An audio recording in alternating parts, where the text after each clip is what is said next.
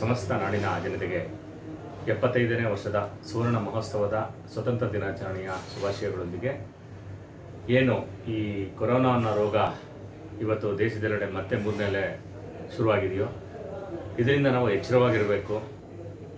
ಎಚ್ಚರತೆಯಿಂದ, ಎಚ್ಚರಿಕೆಯಿಂದ ನಾವು ಒಂದು ಸಂಭ್ರಮನ ಆಚರಿಸಬೇಕಾಗುತ್ತೆ. ಆದರೂ ಇದೊಂದು ನಮ್ಮ ಹೆಮ್ಮೆ. ಸ್ವತಂತ್ರ ಅಂದರೆ ನಮ್ಮ ಹೆಮ್ಮೆ. ಆ ಸ್ವತಂತ್ರ ದಿನಾಚರಣೆಯ ಹಬ್ಬದ ವಿಶೇಷವಾಗಿ ಎಲ್ಲರೂ ಎಚ್ಚರಿಕೆಯಿಂದ ಮನೆ ಮಂದಿ ಮಕ್ಕಳು ಎಲ್ಲರ ಜೊತೆಗೂಡಿ ಒಂದರೆ ಮಾತರಂ ಅನ್ನೋ ಗೀತೆಯೊಂದಿಗೆ ನಾವೆಲ್ಲರೂ ಸ್ವತಂತ್ರ ದಿನಾಚರಣೆಯನ್ನು ಆಚರಣೆ ಮಾಡೋಣ. ಮತ್ತೊಮ್ಮೆ ನಿಮ್ಮೆಲ್ಲರಿಗೂ ಕೂಡ ಭಗವಂತ ಒಳ್ಳೆಯದನ್ನ ಮಾಡಲಿ ಅಂತ ಆಶಿಸ್ತಾ ಸ್ವತಂತ್ರ ದಿನಾಚರಣೆ ಶುಭಾಶಯಗಳೊಂದಿಗೆ. ಯುವಗಣ್ಣ ಸರೋವರ ಹೋಟೆಲ್ ಮಾಲೀಕರು.